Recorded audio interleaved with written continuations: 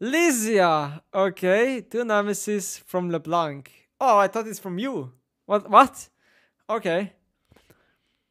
Lemons are yellow, but you're special. Forget about Seraphine tonight. Will you be my Valentine?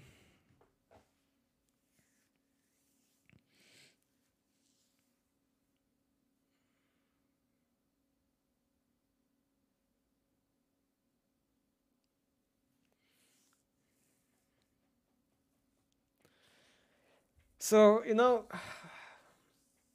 you know, this one's nice, but here's one thing that really, really, really bothers me in this picture, and no, it's not LeBlanc.